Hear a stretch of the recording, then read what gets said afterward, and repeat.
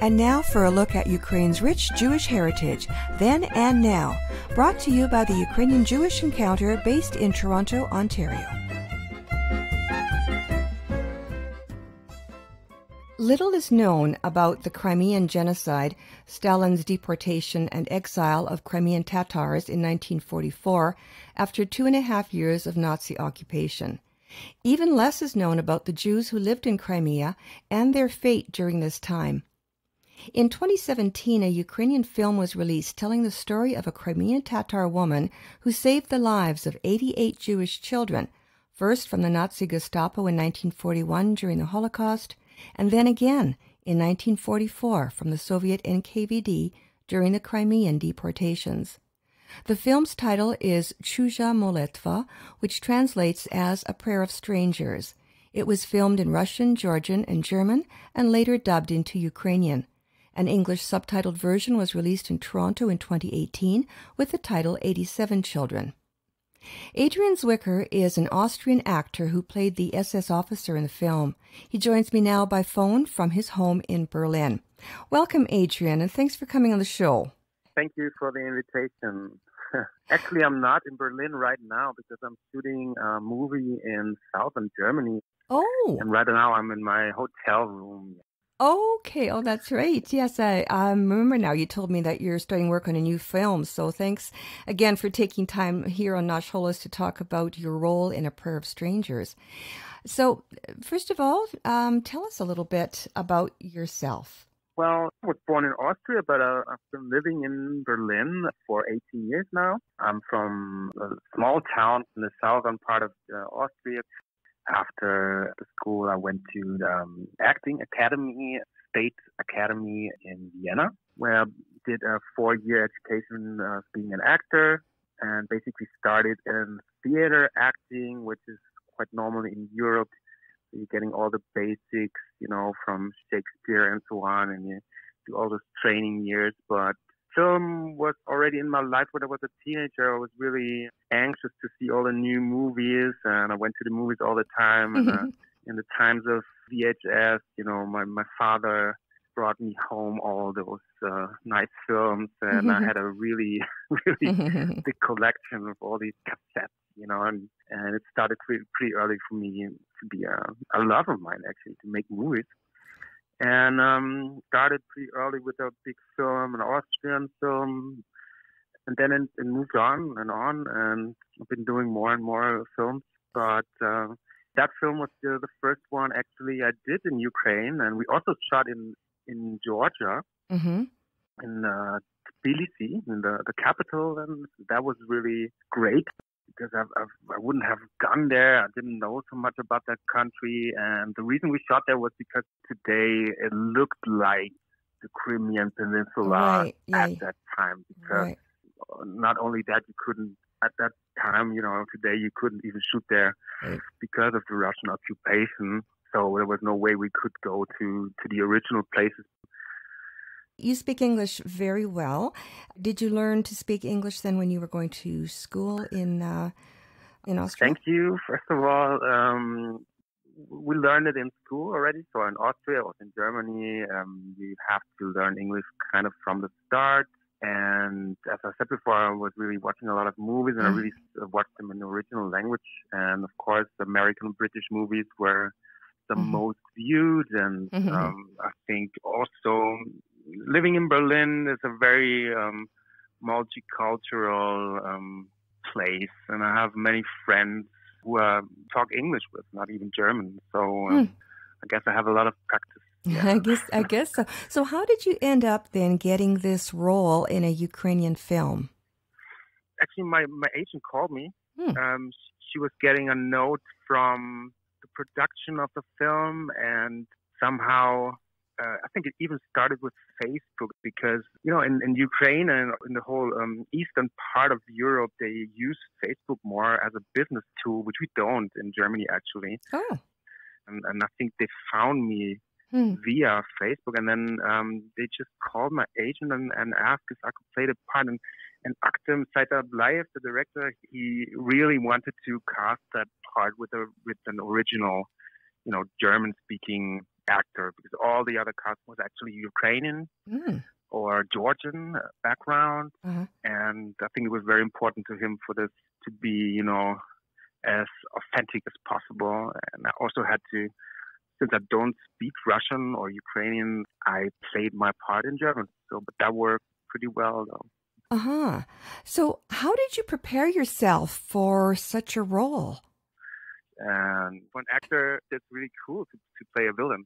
You know, if it's a Nazi or a murderer or whatever, it's uh, no, honestly, it's really it's the most fun to to go into this dark side and to to get into these kind of dark characters and you know it's much more interesting basically than to play the, the nice guy huh. it's much more work involved and that's what i always loved about acting you, you can play somebody who who is very far away from myself you know so i'm a i'm a really a, a sunny guy. I can say that. You know, I'm a I'm a nice guy in real life. so um, that was a part was wasn't actually that far away from me because the guy Heinrich, the part I'm playing, he was a very well educated man, and you know he was interested in art and history, and uh, he spoke uh, several languages. And he was sometimes like a, a schoolboy, you know, on a trip to Ukraine, and he he was interested in the artifacts, the German artifacts, which have been found on the Crimea Peninsula. So uh, it was, you know, not only that the SS had to swipe out those uh, villages and, and kill those Jewish people, but his personal quest was to find these artifacts and to reestablish the German culture, you know, this old antique culture there and was kind of crazy thought like Hitler was. You know, he, yeah. was interested and it became an obsession for him to to, to go there. And he he fell in love with this kindergarten teacher with Saide, the, the main character. Oh. And if you see the film, you find this really a nice guy. But then on the other hand, they had a, a task. You know, there was the SS was brutal and. Yeah it was a genocide, you know, and, and, and then you see you see this nice character falling in love, being nice, and then the next moment, the next scene, you see this guy shooting a little kid, you know, and that's um, that's what we also wanted to portray, you know, the how could somebody do that, and that was also crazy to get into that. And yes, it, it is hard. It was hard. It's yeah. not, you know, you have uh, sleepless nights preparing for that kind of part.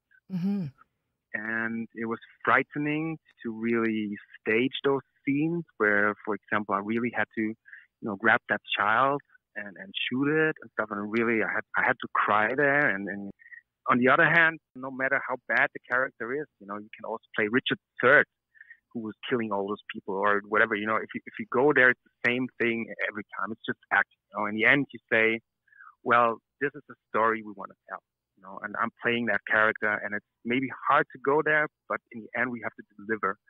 And you go in there the same way you would play any other character, actually. Wow. And you, you use the same techniques to get into it. And, you know, being that person, he that didn't think about himself as a bad character. So it's only for us to see, you know, these kind of brainwashed characters yeah. be involved in in this kind of uh, crazy war uh, crimes. You yeah, know? so, yeah. But as I said before, as an actor, you you want to go there. You know, you want to go yeah. deep, and uh, afterwards, you think kind of it was fun. You know, and it was um, but also a big honor to be uh, involved in that movie and to tell that story.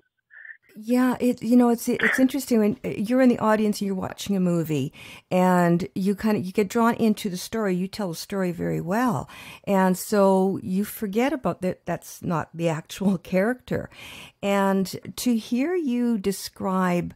Um, you having to portray somebody that you're not, for one thing, and to go into that that dark side. You know, we we know the history of war. Everybody knows it's awful, but if you're in a country where you've never grown up with it and you're trying to understand it, it seems like it is so easy like the the line between a decent human being and somebody that becomes a war criminal or any other kind of criminal seems like a very very fine line And uh, I think it's good for people to realize that I could be that person, possibly. You know, so, yeah. right? Yeah, if you can get that message across, I think that's very, very powerful a thing to do. Yeah, I think that's that's what we wanted to tell. You know that, and that is uh, very uh, compared to actual history. You know, if you uh, look at the uprising of the right wing parties in Germany and Austria, and uh, you know Poland and and and even France and stuff, then uh, you you start to think differently about that because this is a very fine line, and it never started with total extremes going on the streets and and catching Jews or you know just it's this small little things, this changing of language and that it's being allowed and people don't care. People don't do anything about it. That's also part of a crime already, you know, not standing up, saying anything. All these things, they didn't start just overnight. You know, mm-hmm. It took some time mm-hmm. and, and some events to go there. And that's why it's so dangerous again today, you know, and that's why also this film is very important for modern uh, society, you know, to, to see all those, those connections and to see, to see what you said, like this, this fine line, you know, yeah. that's very important to tell that story. Yeah. Did you know about this, the story of Saide Arifova and the Jewish children she saved? Not before I, I got the script. Hmm. No. I was very hit by this tragic story and um, when I read it, I was feeling really terrible that, that I even though didn't know about that part of, of history.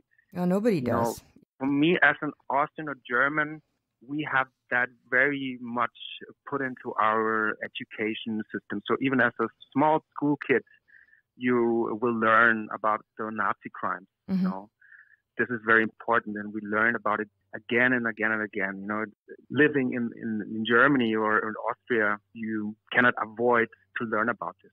So we know quite a lot, even as young people, about those crimes. But on the other hand, there were so many places and so many different stories where it took place. And even with my knowledge, I'm always surprised that I didn't know so many other details. Like for for example, I was doing this other film in Italy where I also played a Nazi officer, and it was about the Italian resistance in mm-hmm. in, in northern Italy. But I didn't know about that, so it's like, but if you're not a historian, you would not get into it so you know detailed and, and the story of 87 children was the same. It was the first time where I started to read about the story of Saide, and it was very emotional. And that was the first time I heard about it. Really. And did you know anything about the Crimean deportation of 1944 before you took on this role? Not so well, also, you know, not so well. I was visiting concentration camps already as a teenager. And you hear that from all over the place. The whole war yeah. uh, was so devastating. Yeah. So basically, I wasn't really so much aware before I went there to shoot a movie about uh, Ukraine or about Crimea. So I learned a lot about that from being involved with the movie, you know, and from from my actor colleagues and from working with the director. Mm-hmm. So we went into this topic uh, quite deeply, and uh, that's you know it was a very emotional time and today with the, the Russian occupation, all this history, you know, to meet with the Tatar people and to, you know to talk to them, and it was sometimes really heartbreaking. A lot of people in Ukraine are very uh, warm and open-hearted, and even more in Georgia. I was like having those wonderful moments and really made some some new friends. Aww. And nice. these people, you know, still have that weight on their shoulders from the Soviet Union from that time, you know, from these occupation times.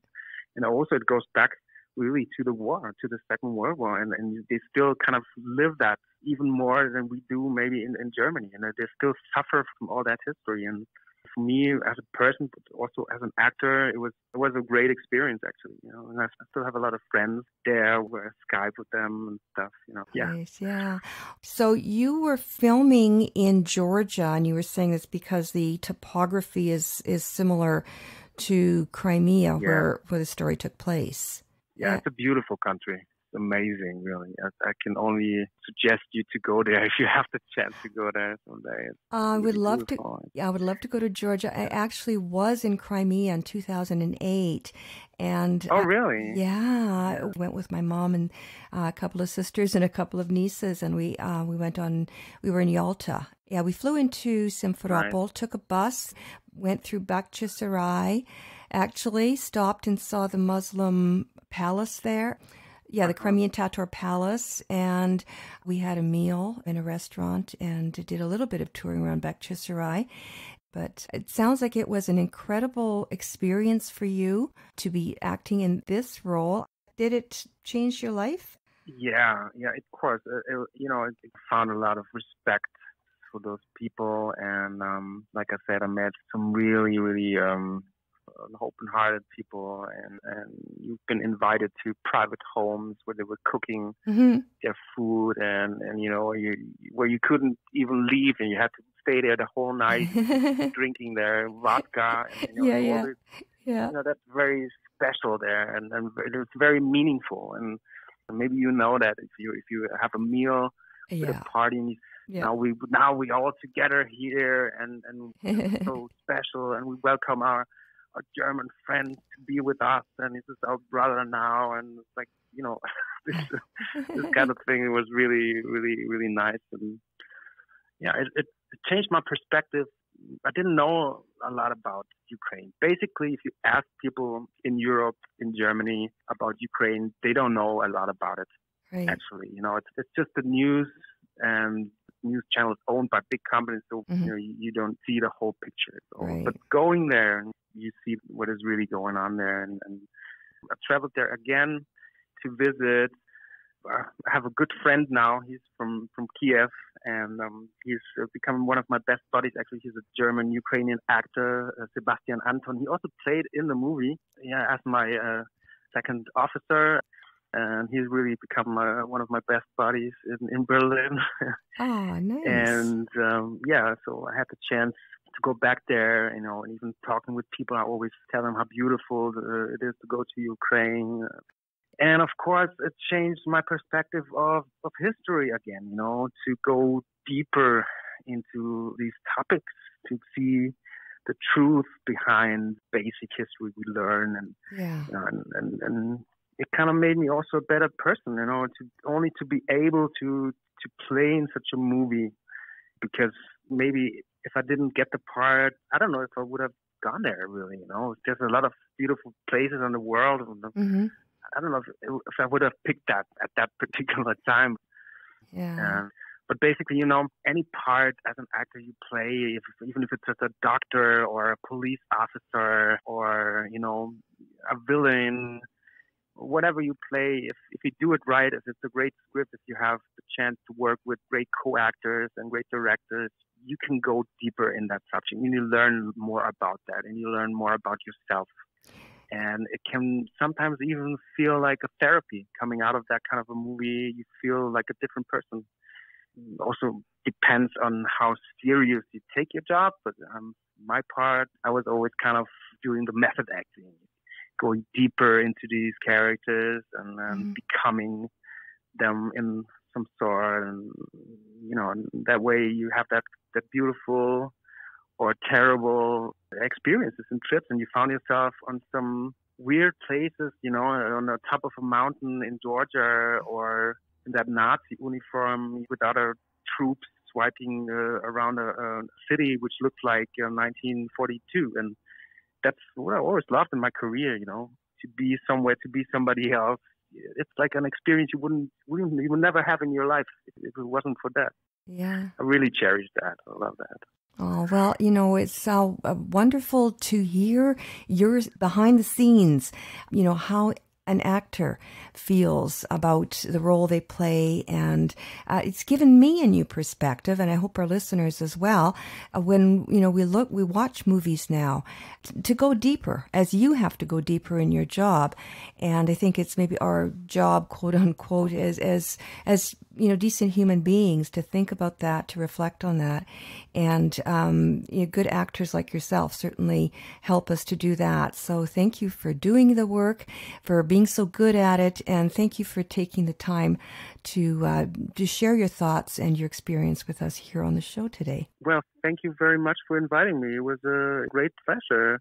Actually, uh, there's one more thing I'd like to say. That they were they were inviting me to Warsaw uh, next week. There were there will be a Jewish film festival. Oh. Where they invited the film 87 Children. Oh. And uh, the director Akhtem, he uh, at the moment he's shooting on another uh, film, uh-huh. and he asked me if I could go there instead of him. And I already told him that I that I would, but then this other movie, you know, came in where I'm right now, so I had, you know, I couldn't go there. Oh. Uh, it was a pity uh, because I would love to have presented the film there, but well, you know, work comes first. Yeah, so, um, always, yeah. I, yeah. What are you, what are you, what are you working on now? It's a film called Sinking Ship. It's actually um, a portrait of a small family going to the summer vacation, and it's about violence and losing control, and uh, it's a very psychological family drama where I've been taking the lead role and Oh, uh, it's also very, very interesting. Like I said, it's uh, good to to dive into this part of your soul which you n- never explored, and um, you can go in there and be bad or be damaged, but then you go back to your hotel room or you go back home, and, I'm Adrian again, and I'm a happy person, and I get out of it again. It's always good to be in there, but also good to, to come back. Yeah. amazing, yeah. amazing. So thank you again, Adrian. I really appreciate your time. Good luck on, on your new movie and all the best in the future. Thank you so much. I really appreciate that. And thanks for the invite. Okay, my pleasure. Thanks, Adrian. I was speaking with Adrian Zwicker, the Austrian actor who played the role of the SS officer in the film Czuja Molitwa, A Prayer of Strangers. The English subtitled version of the film is called 87 Children. It is the story of a Crimean Tatar woman who saved Jewish children from two genocides during World War II Hitler's Holocaust and Stalin's deportation of Crimean Tatars. Her story aired in the previous episode of Ukrainian Jewish Heritage. You can find the transcript and audio file at the Nash Holos website. For more information or a copy of the film, contact East West Film Distribution in Vienna, Austria. This is Pavlina, producer and host of Nash Holos Ukrainian Roots Radio. Thank you for listening. Until next time, Shalom.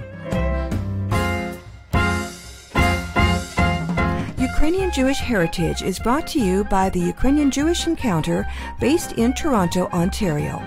To find out more about their work, visit their website and follow them on Facebook and Twitter.